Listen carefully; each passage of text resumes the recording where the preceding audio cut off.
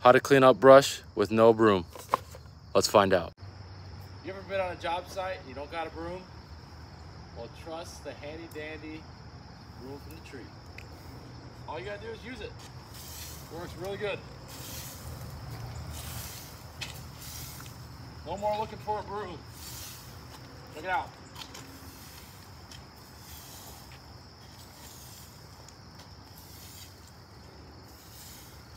Yeah, buddy. Easy. Look at that. Check it out. What? I didn't even need a broom. Done. All right. Well, that's it, guys. I have a question. Yeah? Do they sell that at Walmart? Coming soon.